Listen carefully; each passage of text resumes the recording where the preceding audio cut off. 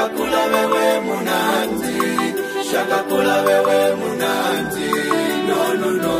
Shakakula we shakakula wewe munanzi shakakula wewe munanzi shakakula wewe munanzi no no no.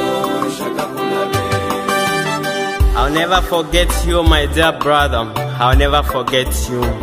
You were a humble man, full of love, strength, and encouragement to us. You were an amazing person, full of life and vitality. You were the pillars of this family. The memory of you can never be fed.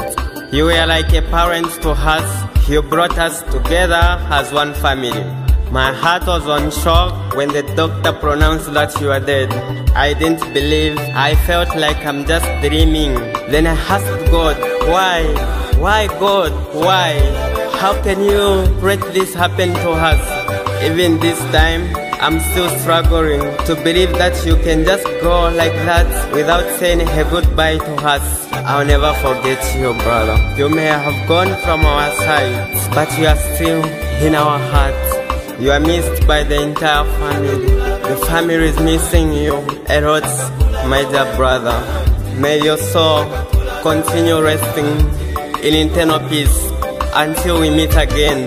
shakakula wewe munanzi shakakula wewe munanzi shakakula wewe munanzi no no no.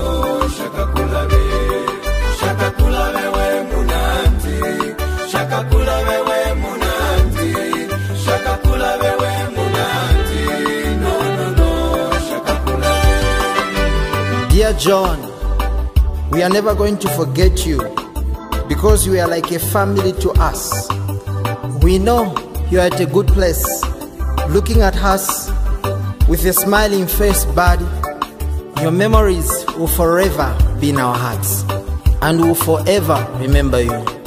Till we meet again, may your soul continue to rest in peace.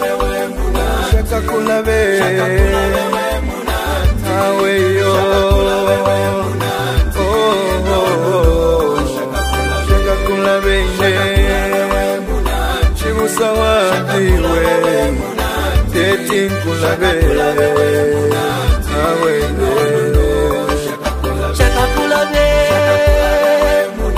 shakakula be, shakakula be,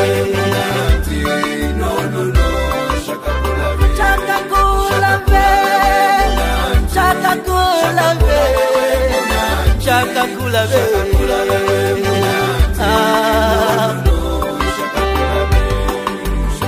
We pray as friends and family, your soul continue resting in the hands of God until we meet again.